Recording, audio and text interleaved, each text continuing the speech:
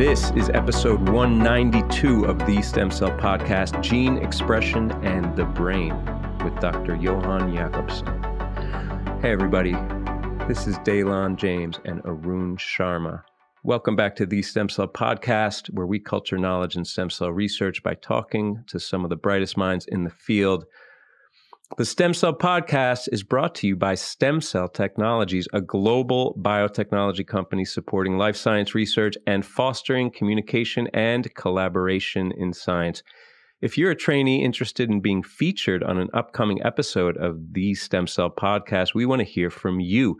Email us at info at stemcellpodcast.com or send us a message on Twitter at Stem Cell Podcast and you and your research could be featured on an upcoming episode. Today, we have Johan Jakobsson from the Lund Stem Cell Center. He's on the podcast to talk about his research on epigenetic mechanisms in the brain. We've also got our usual roundup of recent highlights and stem cell news. That's coming up. But first, are you attending the ISSCR annual meeting or an upcoming stem cell related conference?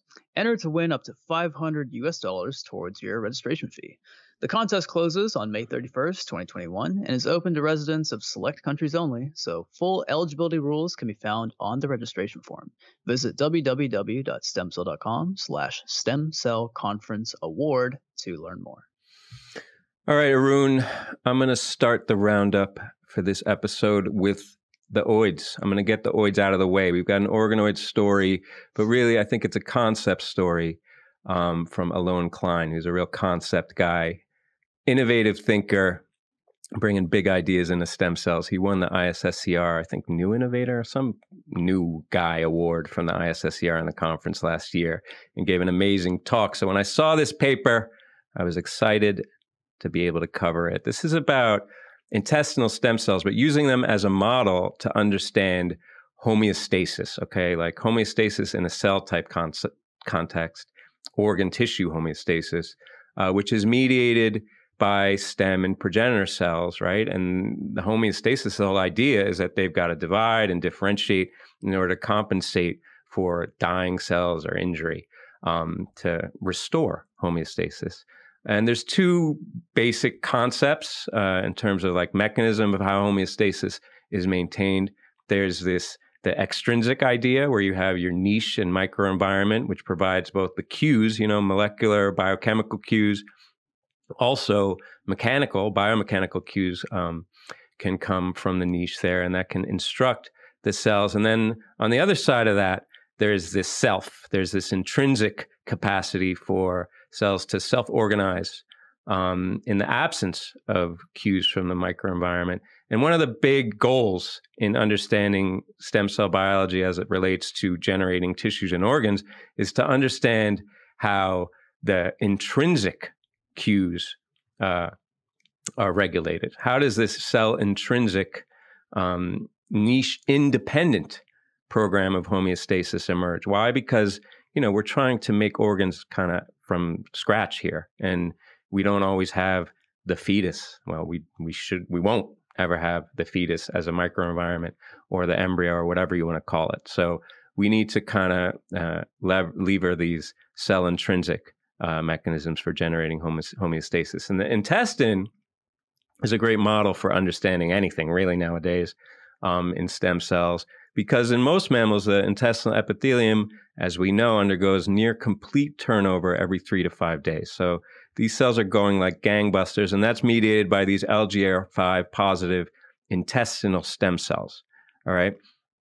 Now, the key here why ISCs, intestinal stem cells, are such a great tool for understanding intrinsic homeostasis is because they, in these uh, organoid systems that were pioneered by the god Hans Clevers, um, they make organoids, right? We all know at this point they're like the organoid, the the prime organoid that started the whole thing. Um, and what they do is they create their own niche. Okay, so from a single, you can get a single intestinal stem cell can give rise to a highly structured multicellular epithelium. But what it also does there is that the cellular progeny of those LGR5 positive intestinal stem cells, they actually produce the Wnt and Notch ligands that govern the uh, growth trajectory and self renewal of these cells. Okay, so these intestinal organoids are a great model, a great platform for studying self organization, um, kind of generally. And what Allon Klein did, he's at Harvard Med School, what uh, he did in his group is that they were focused on what governs the size of these stem cell zones within intestinal stem cell organoids. Um, and first, what they did to, to get there is they improved the viability and like rely, you know, reproducibility, homogeneity of these intestinal organoid cultures um, so that they could do long term. Okay, so unprecedented lengths of time, time lapse imaging of not just a single organoid, but all multiple organoids in parallel under different conditions. Um, and doing this, they were able to show that these stem cell zones are governed by what they call fission events, fission, okay, uh, and those are controlled by um, ions, so like the the ion channels uh, that cause inflation uh, of the organoids, and then in response to that inflation, you have these mechanosensitive piezo family channels. Okay, so the ion channels and the piezo channels, um, and with the imaging uh, combined with the little S, S single cell uh, RNA seq, they showed that it's this actual mechanical inflation of the organoid that causes acute stem cell differentiation and uh, causes a swath, uh, you know, large scale transcriptional changes that are, include upregulating this piezo one, uh, which is a mechanosensitive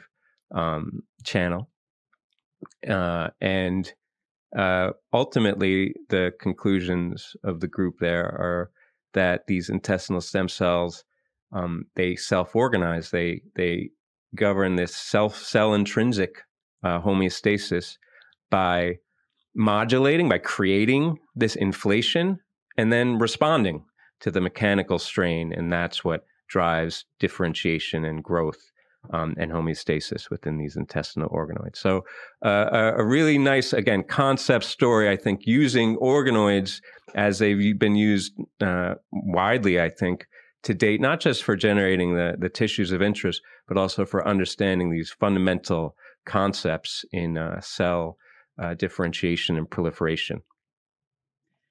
Yeah, quick clarification there. Fission not fishing events Daylon. I got confused for a second there. I was like, wait a minute, we're going fishing? No, taking it seriously though, uh, it's a great model system as you alluded to. Uh, Dr. Hans Clevers is, of course, the god of this particular technology. I think it's neat how Piezo 1 is popping up here again. This is a master regulator of mechanotransduction. We've actually talked about it a few times previously on the show. I'd like to think that different classes of genes are master regulators of that particular class, and Piezo1 is definitely a master regulator of, of mechanotransduction. One limitation here, uh, those type 2 fission events, uh, they definitely show that they are found in vitro in these in vitro cultures, but I think one disconnect is, you know, what's the reality in vivo? They're these are incredible systems, these organoids, but they're not perfect when it comes to perfectly re- re- recapitulating the architecture that you, you would find in vivo. Yes, that's fair. I think that um, you know, ultimately, there the the limitations of the organoid system um, for understanding biology in vivo. Yeah, they're there, but uh, you know, you gotta you gotta start somewhere, Arun. And I think uh, getting back to just the, the, the, start of this, this is using the platform for uh, delving into fundamental concepts in biology. And as you started there to say, the the piezo has really been coming up a lot, and I think it it it shows that you know that this well, it shows an appreciation of mechanotransduction and differentiation that I think, you know, a decade ago people wouldn't have pointed towards. And I'm really excited to see how it plays in a lot of other tissues and organs. You know me, I'm, I'm really a big fan of the blood. And I, I recall it was almost a year ago now mm-hmm. that George Escapin reported at the ISSCR this idea of Piezo 1 and mechanotransduction playing a role in uh, the emergence of bona fide hematopoietic stem cells mm, in yeah. uh, uh, ES differentiation cultures. So yeah, Piezo's all over the place, and I'm waiting to see that one drop. I'm hoping it doesn't hasn't fall prey to the to the um, you know the evil gods of hematopoiesis. They never let you get out of the trenches there. You know they really have their thumb on the master regulators of hematopoietic stem cells, and they're not letting their secrets out, Arun. So we'll have to wait to see on that. well, that's an analogy I haven't heard before, but no, you're absolutely right. There's um, a lot we need to figure out with mechanotransduction in particular, piezo, piezo, or fission fission. We'll figure it out one day. but moving on to another tissue type that actually has a very important connection to mechanotransduction, we're talking about the skin. And this paper has actually got quite a bit of press um, in the popular press over the last few weeks. It's a science article coming out of the lab of a former mentor of mine from Stanford, uh, Dr. Michael Longaker. The title of the article is Preventing Engrailed Activation in Fibroblasts Yields Wound Regeneration Without Scarring. I'm going to back up a little bit and just give a little bit of backstory. Dr. Longaker is a surgeon. He is he's been doing this sort of work for a long, long time. He's been uh, focused on skin regeneration, his holy grail is figure out ways to regenerate the skin without scarring. And you can immediately imagine the applications here. Scars are those, you know, things that stick around in our bodies and you know a lot of times we don't want them to be there they're unsightly they remind us of bad decisions or just, you know, poor circumstances, one or the other. I have a big old scar on my left arm from a from a burn actually, and it's gonna stick with me for the rest of my life. It's kind of cool. It's almost like, you know, a battle scar in some ways, but eh, a little bit unsightly. So what I'm saying here is not everybody wants their scars, right? Sometimes you do, sometimes you don't. And what the Longaker lab here, they showed that if you uh, take a closer look at the fibroblasts that are actually contributing to the scar formation, you can figure out ways to actually regenerate skin without a scar. And the key here is engrailed 1, and activating it leads to uh, scarring. If you prevent engrailed 1 activation, it leads to scar free healing. So, there are basically two lineages of fibroblasts, these engrailed 1 lineage positive fibroblasts or EPFs, and engrailed 1 lineage negative fibroblasts or ENFs, which are not super well characterized. And what they did here in this study is they used a bunch of different assays, in vitro and in vivo, cell transplantation, transgenic mouse models, to identify that dermal ENF or engrailed negative fibroblast population that ultimately down the road gives rise to the postnatally derived EPFs or engrailed positive fibroblasts. But they did a bunch of genetic manipulation here and found that it's mechanical tension. Again, we're talking about mechanotransduction. It's a very important role in regeneration, as we've covered before. Uh, if you block mechanotransduction signaling with either this drug that's already in circulation called verteporfin, which is an inhibitor of YAP, yes associated protein, you actually promote wound regeneration by these engrailed negative fibroblasts, which are scar free. It leads to scar free regeneration for the most part. And the other really important thing here is you're not just talking about scar free generation of skin, you're also talking about functional recovery. You're talking about functional recovery of the skin, the overall ultrastructure of the skin with like the sebaceous glands, you know, the emitting sweat and that sort of thing, and also mechanical strength. So this is really critical. It's not just a cosmetic thing, but it looks like functionally these engrailed negative fibroblasts are contributing to a more complete regeneration of the skin. And we were talking about this before the show. I mean, this drug has been around there for a long time. It's FDA approved, and if if I was a surgeon, or if you know a surgeon, or someone out there is a surgeon, you can pretty probably pretty easily, you know, take a next step and start perhaps using this almost immediately in uh, in scar regeneration or scar free healing. Um, I'm sure people out there are going to give it a shot. Of course, Dr. Longaker would be the first one to tell you we got to go through the FDA rigors, we got to go through the trials to actually make sure this is safe in this particular application. But it seems like a low hanging fruit, don't you think, Daylon? Yes. I mean, you can imagine. You're in LA there's all the plastics guys over there. Their their phones are ringing off the hook. You know, they're they're booking out to probably next year right now with women seeking the scar free surgery. Um, yeah, I, I, I am sure uh, it's going to go live, and maybe we'll have a little trial by fire in the real world, uh, at least anecdotally, uh, from uh, surgeons using it off label. But uh, I mean, the implications are tremendous. Uh, it's not just cosmetic surgery, as you said, mm-hmm. but I wonder about things. You know, there's this whole idea of uh, the mechanotransduction, and and I, I remember reading a, a, a, the article about this uh, story where Longaker actually was quoted saying, "Because mice generally have loose skin, so they have to like kind of create yeah. an apparatus."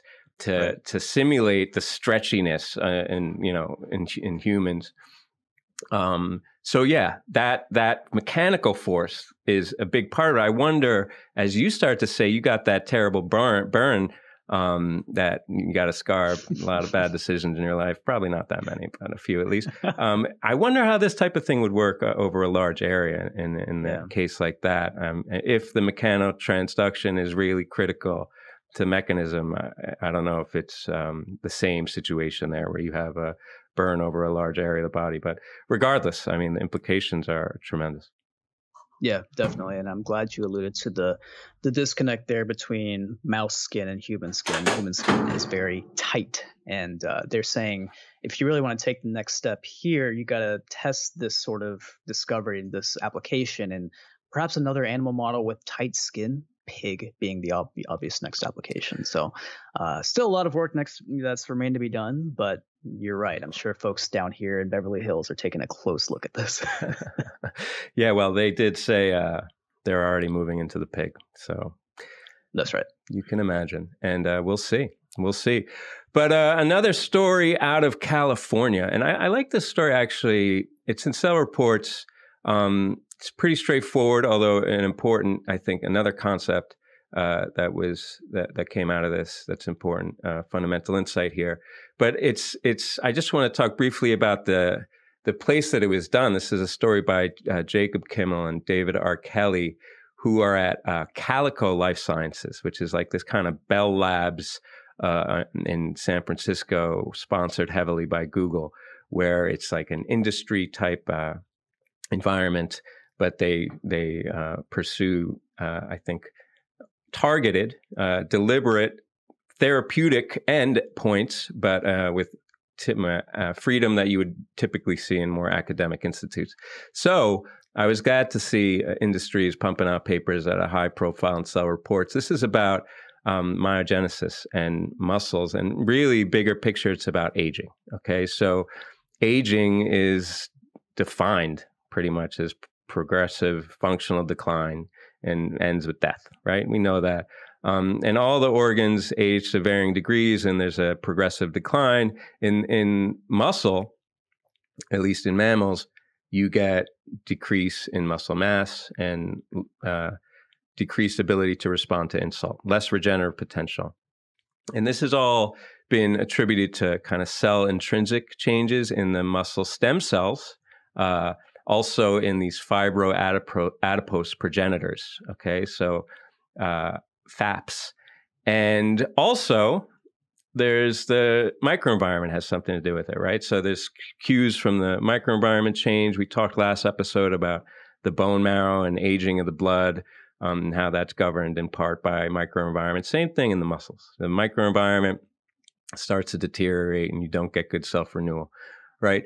But the question is, how uh, does differentiation affect that last loss of capacity? If you have a, a, a, decrease in the potential of a muscle stem cell, is that does that bear out across the differentiation trajectory? Or alternatively, do you have kind of occult uh, aberrations in the stem cell that only emerge once uh, the, they differentiate? And this is reinforced by studies in, in T cells that shows that in aged T cells, it takes an immunological stimulation. So you got to activate them in order to elicit the age-related changes that otherwise are are latent. Okay, so what um, Kimmel and Kelly did here is they used a single cell to look at the muscle stem cell and their derivative populations and the fibroadipose progenitor and their derivatives um, and looked at them across differentiation in a pretty, you know, binary study in old, young, uh, and differentiated and undifferentiated. Uh, and uh, what they found was that differentiation indeed increases the magnitude of the change in muscle stem cells and the fibroadipose progenitors. Um, but on the other side, so yeah, as they differentiate, these these differences are unmasked. But um, on the other side of it is also what I thought was interesting is that you'll have some age-related changes in the progenitors that some uh, that ultimately are masked as they differentiate. So you get both sides of that. Uh, and looking at you know the RNA velocity, the trajectory analysis, they show that the the muscle uh, stem cells they follow the same trajectory uh, when they're aged as they do when they're young um, initially, but they stall uh, during the or near to the final commitment decision. Okay, um, and they also from that conclude that the commitment, the fate differentiation, fate commitment decisions um, are also delayed as the myogenic cells, uh, the muscle stem cells, get older.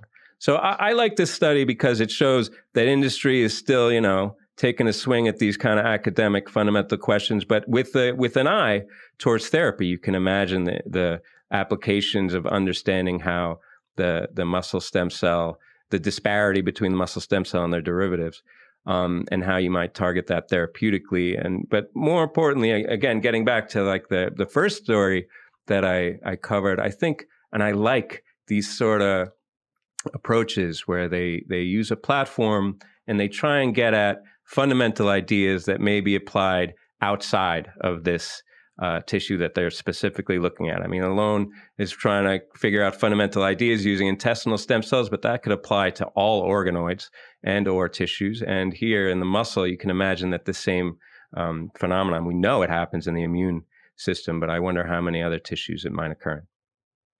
For sure. And if you're going to allude back to the first study, I'm also going to allude back to the first study in terms of the same criticism that I had. Sorry, I didn't want to poo poo this too much, but got to bring it up. Disconnect between the in vitro and the in vivo, right? They even straight up said the age related changes they identify might not account for the complex interactions with the other cell types and the systemic environment that occur in vivo.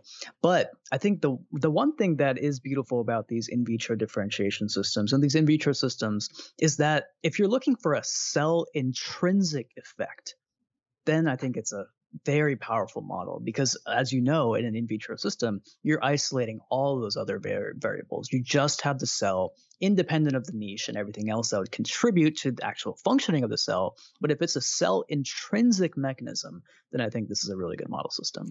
Agree agree. And unlike Allon study where i don't know that you could really go in vivo with organ it's like there are no you know, it's not the same phenomenon that you could find in the intestine. It's in the context of the meta. You're not going to get these individual stem cell zones. But here, on the contrary, I could imagine that you could have a, a you know a couple more figures here, uh, ideally where you you start to really unpack the conclusions you made from your in vitro system and see if they have an impact in vivo. I don't know exactly how you would do that, but um, hey, you know, you're the one that was criticizing it. Maybe uh, you could go knock knock on their door over there in Calico and tell them what they're doing wrong. Um, but yes, perhaps that's why this is a cell report study and not a cell stem cell study. But still, I think uh, a really a really nice insight that I enjoyed hey, I'm an in vitro biologist, okay, so I got nothing against the in vitro systems. I just got to call out the limitations. You know, there's nothing wrong with doing that. you know, I have liberty to do that. But no, fantastic work that they're doing at Calico. And like you said, it's a it's a unique model for a, a next generation of research institute that's got, in some essences, I would say a blank check to do amazing science. So mm. I wish we all had blank checks to do amazing science. But moving on to the last paper that we're going to talk about in the roundup, something very different from the other stories, but very similar to stories that we've covered recently on the show. As you figured out by now, chimera work, human animal chimera work is absolutely exploding. We talked about the skeletal muscle chimeras from the, the Garry lab a couple weeks ago. We talked about some of Jun Wu's work that he showed at ISSCR. And this is actually another paper that Jun Wu is on. Um, last author here is actually Juan Carlos Belmonte from down there at the Salk Institute, San Diego. First author is Tao Tan, and the title of the paper here in Cell is Chimeric Contribution of Human Extended Pluripotent Stem Cells to Monkey Embryos Ex Vivo.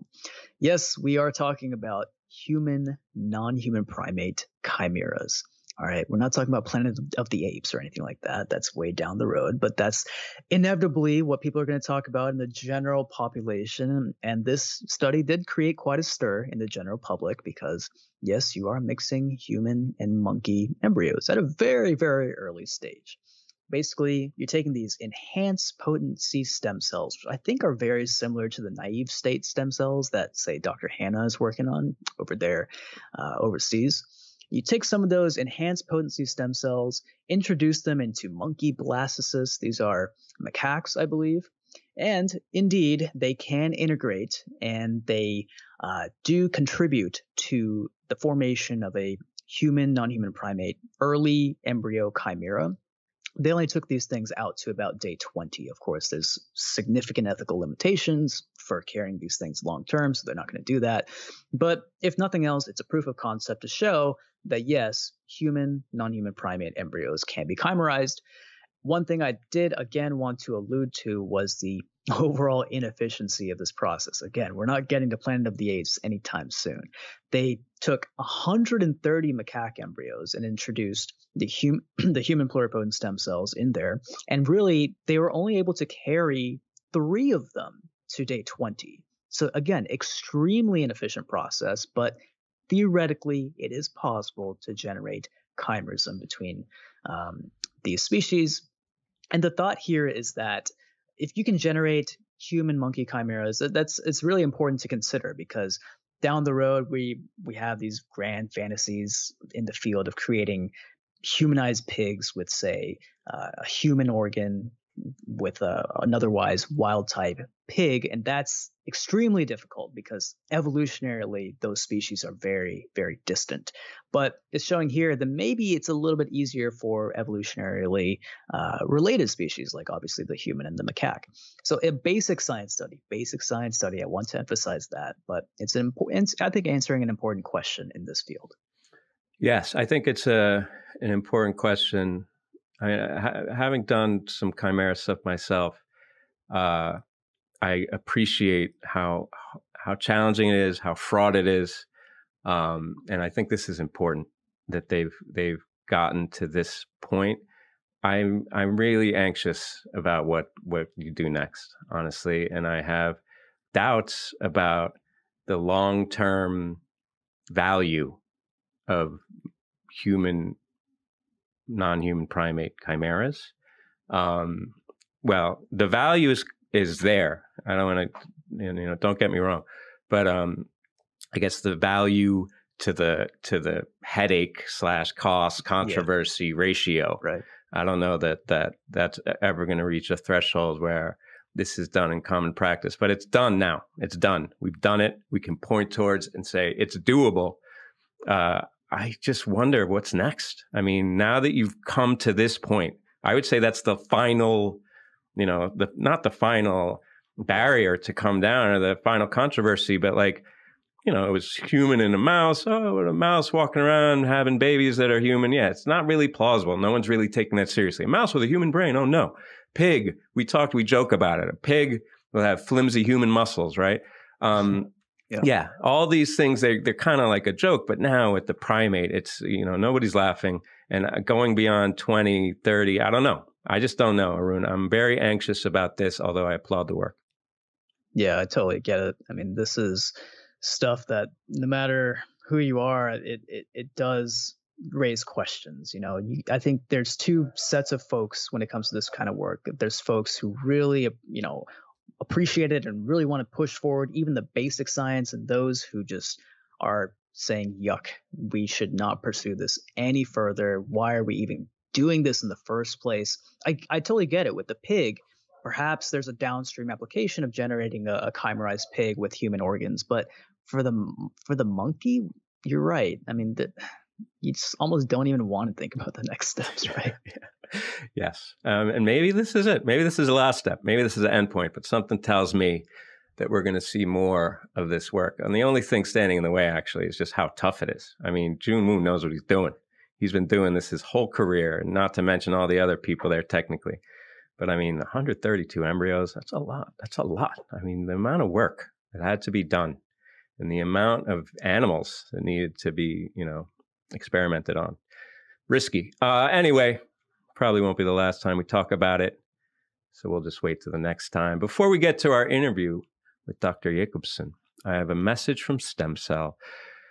This is uh, maybe pertains to our monkey human chimera. Neuroscientists looking for more predictive power in their disease models are increasingly adopting human pluripotent stem cells in their research. Stem Cell Technologies offers products, protocols, and training to support HPSC derived neural models. Explore their collection of technical videos and webinars on neurological disease, modeling by visiting www.stemcell.com slash neural disease model. Guys, you can do it in vitro. You don't have to make a chimeric monkey. Go ahead.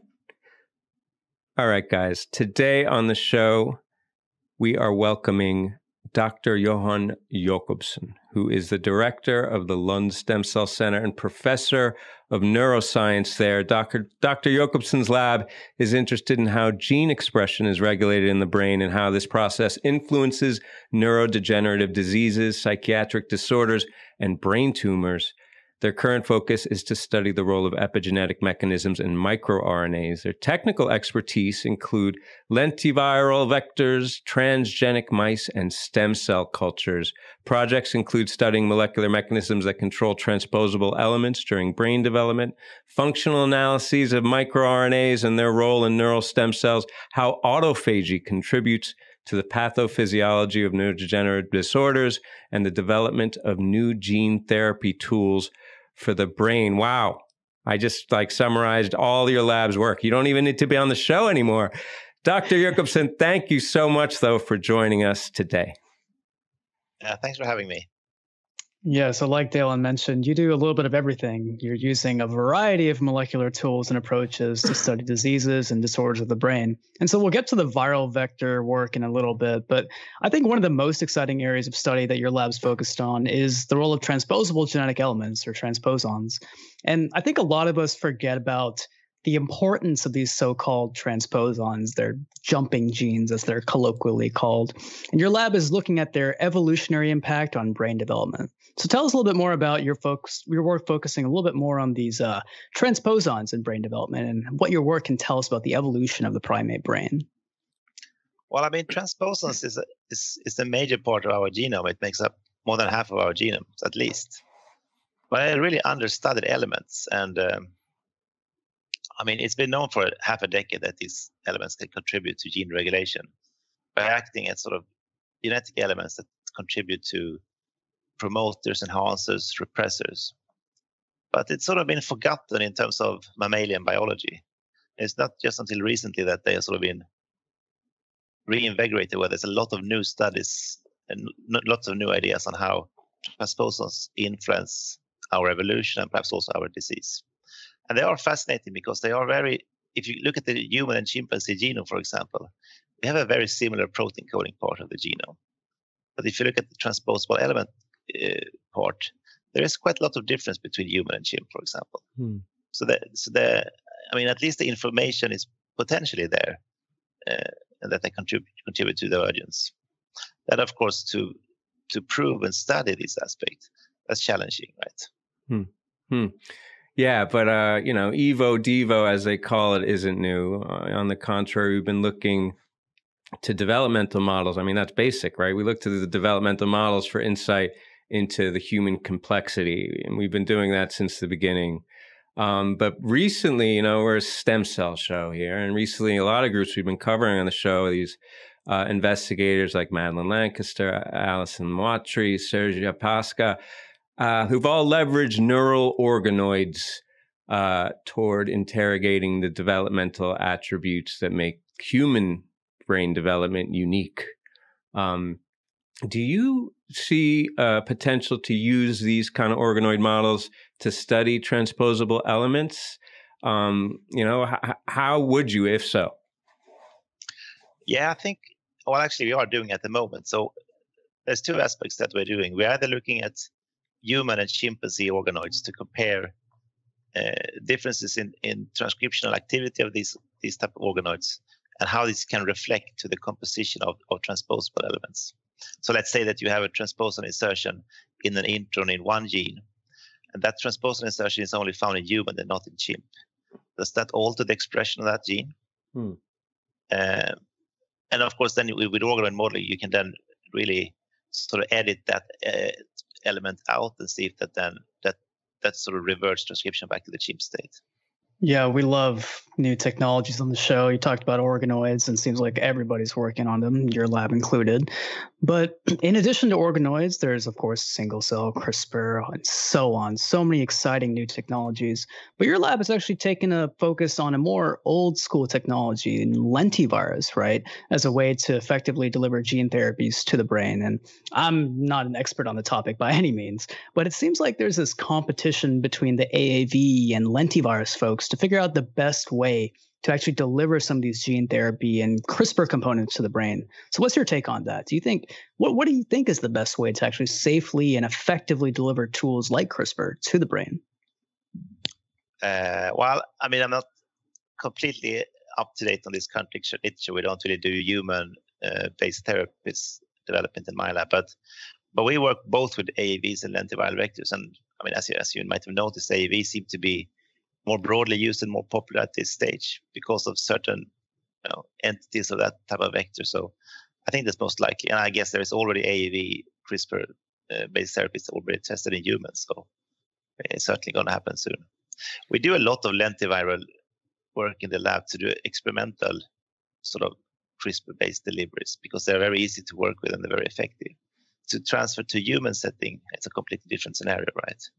I mean, you're you're you're alluding to it there. It's not exactly your point of emphasis in the lab, but I mean, your your roots and your pedigree uh, are quite. I mean, are deep. Let's say in Lenti, your postdoctoral mentor Didier Trono. Um, he's like a god in the field of lentivirus. Everybody who's ever used lentivirus knows the name because they got to reference him in the index, right? Um, and he's well appreciated as a pivotal influence in the development and and kind of like leveraging it uh, to use it as a tool. Uh, and of course, there's no question. You just said it's easy to work with, so there's really no question that the scientific impact of lentivirus and a lot of derivative methods for delivering gene products to cells is immeasurable. But I know you said this isn't your point of emphasis, but nevertheless, I'm going to wade into it. Clinically speaking, applications for lentivirus are not as widespread. I know in terms of like safe harbor therapy for hematopoietic uh, disease, gene targeting um, for disease and hematological malignancies, that that's a thing. Um, but clinically, the the tools are not as I guess wide widespread in their application. Um, so you know, again, I know it's not maybe you're not up to date, but just in your mind, you're working with it in the lab and understanding the principles, do you think the therapeutic the the the days of therapeutic application of lentivirus are still in the offing? Are they still to come? Are there are there going to be new uh, viral delivery mechanisms that that are going to need to be developed?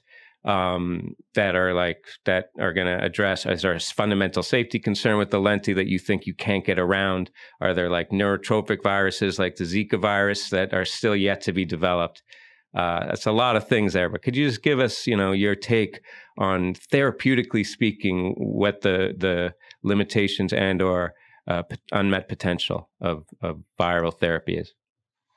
Well, I think if you look at if you look at lentiviral vectors, there's two aspects which are challenging. One is, of course, the safety concern that you have a, an integrated vector which is derived from uh, potentially from HIV, which causes concern among amongst many people. And then there is the aspect of the production possibilities. And, and lentiviruses are, are, of course, this budding retrovirus type, which is surrounded by a cellular membrane, which makes them challenging to produce in, in really high purity and high quantities. Hmm. And that's the drawback with lentivirus. The production could probably be solved quite a lot. And the safety, from my point of view, it's just a theory. I mean, I don't think that's is a real concern, at least if you compare to other vector systems. The, the safety of lentivirus has been tested for I mean, more than two decades now. That it's a safe system.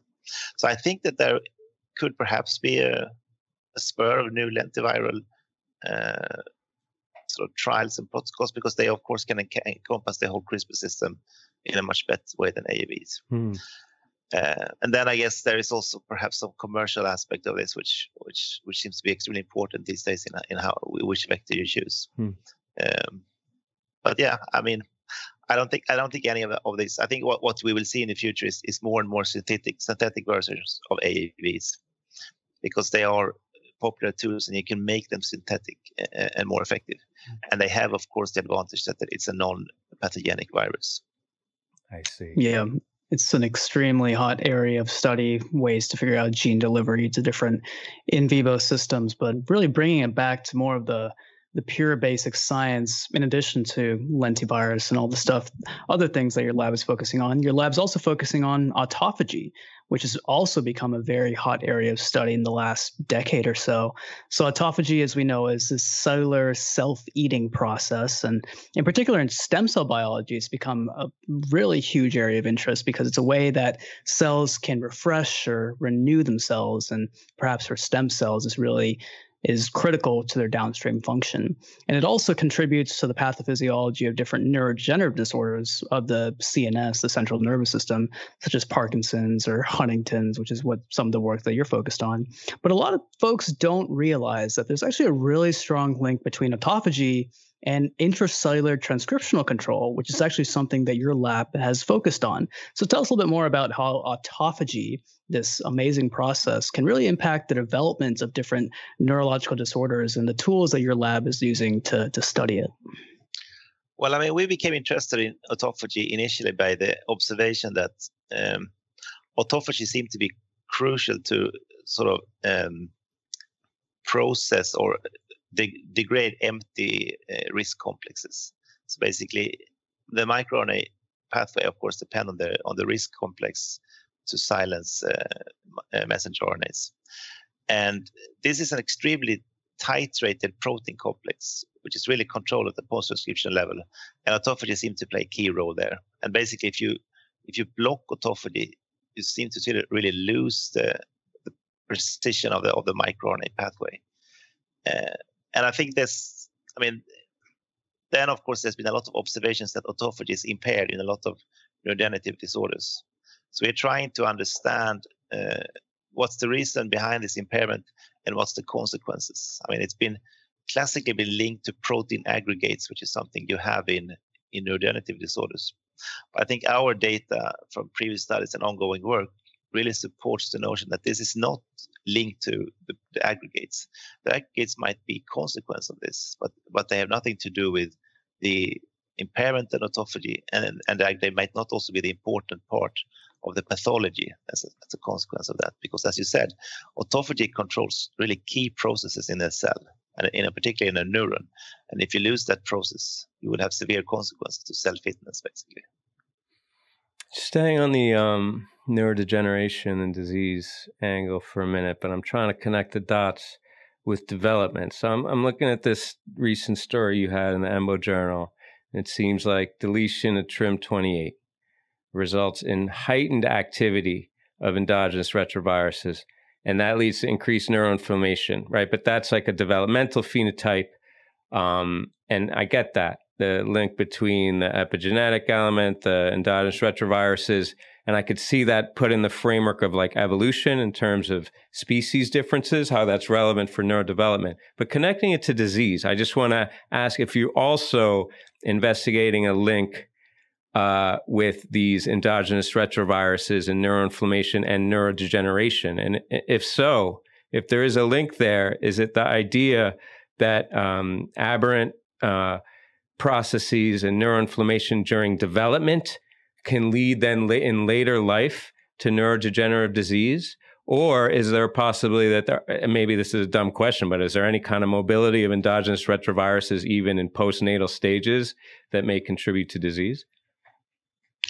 Yeah, I mean, we, so we made this observation that if you, by using genetic mouse models, activate expression of transposons, or in this case, endogenous retroviruses, this and if this happens during brain development, you you in in adult brain you end up with neuroinflammation, which sort of suggests that these act, may act as triggers of neuroinflammation in various disorders. Because of course, these elements are controlled by epigenetic mechanisms, and if you have dysregulation of epigenetic mechanisms such as DNA methylation or histone methylation, might actually activate these elements.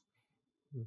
And so we are currently trying to follow this up in the human situation by doing sort of post-mortem studies to sort of try to figure out if we can detect aberrant activation of transposable elements, if this is linked to altered epigenetics, and if this is also linked to sort of an interferon response or an inflammatory response in the same type of cells. Hmm. This is technically challenging, I should say, because it has to be done at a single cell level in a, in a post-mortem brain tissue technically challenging, but I believe your lab is up to the challenge. You're at Lund University, which is one of the greatest institutes of higher education in the world, actually. It's located in beautiful Sweden, of course, located at the southern tip of the country, just about an hour's drive from Copenhagen in Denmark. Now, I'm not going to be I'm not pretending to be an expert on the geography of Sweden, okay? But I do know that Lund is far, far from Stockholm, which is where the ICCR annual meetings are held and Nobel Prizes are awarded, yada, yada, so on, right?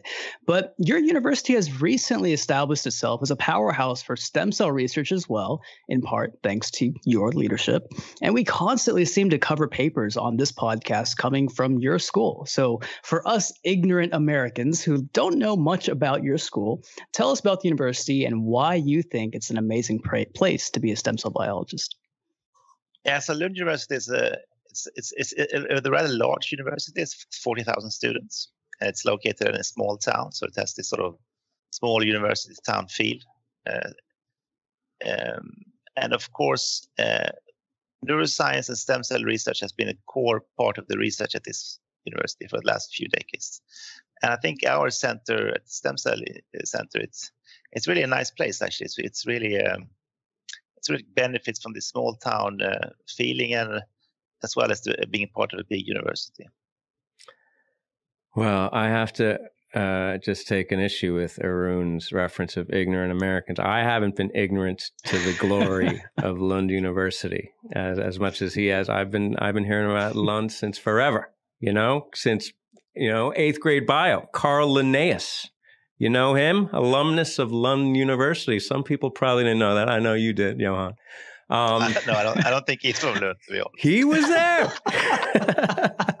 well, he spent a minute there at least. I mean, yeah, sure it, it's, check it out on Google. I did. If I'm honest, that's how I found that little kernel of information. He spent a minute at Lund, Johan. I'm sure he did. He did. Yeah. He did that, and he did the binomial nomenclature that we all love. But Lund is, you know, this is on Google. Check it out. A lot of things have come out of Lund. Ice Age theory, that's a big one the first respirator, medical ultrasound, Nicorette for all you smokers out there. Couldn't have done it, couldn't have kicked it without the uh, without the Lund people. The inkjet printer, uh, Bluetooth. I mean, the list goes on. I'm going to stop right there. But if you have to add one, you know, one thing, no pressure there. But what's the next thing that Lund's going to be recognized for? I know we talk about all these stem cell papers coming out of there. If you had to add one of those to lists that you aspire towards or you think is already uh, worthy of recognition, what, what would you what would you put on that list? Oh, I don't know. It's a good question. I mean, Lund is it's I have no idea to be honest. it's a tough place to beat. I mean, what's like, nice about our center is that it's close to the hospital. So there's a, there's been a tradition that you can bring therapists directly to the to the patient. I mean, this was the place where the first neural transplants was made, for example, in the 80s. Hmm. And I think that's still the, the sort of strength of our center. That it's really close to the hospital. It's it's really a possibility to do translational stem cell science. Hmm. Yeah, I think some of the best places to do research in the world are those institutes that have everything right next to each other, whether it's an amazing medical center right next to an amazing basic science department. And that's kind of what it sounds like you have there at Lund University. So thank us, thank you so much for joining us here today, Dr. Jakobsen. And we're going to let you go in a second here, but we're going to ask you some science peripheral questions just so our listeners can get to know you a little bit better. So the first question I'm going to ask is if you were not a scientist, what would you be? Uh, I would probably be a writer. I would hope to be a writer. That would be great to write books and novels. I guess you don't count writing scientific publications as writing. All right. Not no. quite as stirring. Would it be fiction? You'd be a fiction writer? I think I would. Yeah, I would love to be a fiction writer. Wouldn't that be nice? Are we talking some of these dark? You know that the Swedes have a reputation for a particular type of uh, procedural. Is that what we're talking? What, what, oh, what, what no genre? Idea. No idea. Just some deep, some good, some something fictional. It's always nice to escape from the hard reality of science. I guess grass is always greener. Yeah. Alrighty, and the last question is: What's the best piece of advice that you've ever been given, professional or not? Well, actually, I think it's if if I um, well, at least in the discussion of science and, and science career, the best option has always uh, best advice has been that if you miss one option, there's always another option waiting for you. Hmm. It's kind of like the uh, uh, God closes a door, open a window. But I mean, I don't like that. That, that means that there's a higher power. I like your your version so much more because there are so many options in science, so many unknown truths out there, which is why we're still uh, we still get paid, I guess. Although sometimes, as a young scientist, at least as a scientist who's maturing, it seems like we've run out of good truths. Last question: What do you think? Are we running out of good truths, Johan? Or are there are we are more unknown than known out there in science? I think that's far more unknown than known, right? There's a lot of good truth out there. All right. Thank you for that. And thanks for this chat. This has been a lot of fun. Arun Johan, we'll get him in a couple weeks. Great. Thanks a lot. All right, that brings us to the end of our show. Don't forget to subscribe to our newsletter at www.stemcellpodcast.com to get the show notes, including an episode summary and links to all the interview and roundup papers. You can also reach out to us on Twitter at Stem Cell Podcast or via email at info at stemcellpodcast.com with feedback or to suggest guests. You guys, come on. Send in your links, send in your info. We would like to get you on the show talking about your science. Until then, we're going to be in between. Tune in a couple weeks. Thanks for listening, guys.